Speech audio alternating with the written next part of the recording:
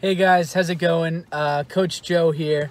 And um, for the parents who uh, I haven't met yet, uh, my name is Joseph Flynn. And uh, a little bit about myself is uh, I'm from Maynard, Mass. I grew up in Maynard. Um, grew up playing baseball, Little League, all that. Uh, played at Maynard High, graduated um, from Maynard High.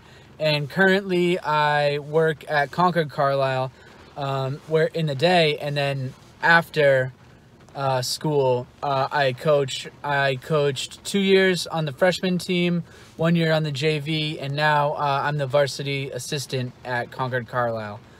Um, one of the things uh, I'm excited about, uh, one is is definitely to join this this great organization, and um, why I'm excited to join the Beantown Bombers is um, for the first uh, couple of practices. Again, they made my transition amazing. They made it so easy, and it was everyone was so welcoming.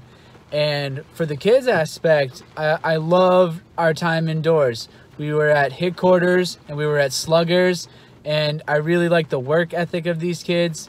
And moving forward, I know this is not ideally how we would like to start the season, but we're going to do all we can. We're going to put in some work and I'm excited to work with you guys and hopefully I can see you all soon.